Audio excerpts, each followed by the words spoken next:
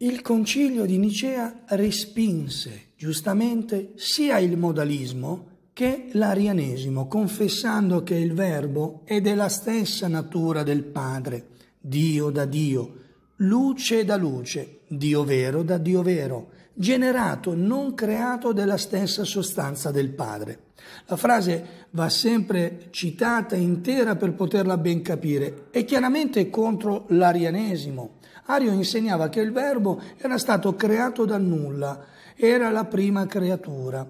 Nicea, quasi rispondendo alle affermazioni ariane, le rovescia. Il verbo non è stato creato, non è quindi una creatura, ma è generato prima di tutti i secoli, cioè da sempre. Cioè il Padre è sempre stato Padre. Inoltre il verbo generare suggerisce proprio l'unità della natura tra il generante e il generato. Naturalmente, queste distinzioni per qualcuno possono sembrare un tantino incomprensibili, ma in realtà si tratta del mistero di Dio che è fonte della nostra salvezza.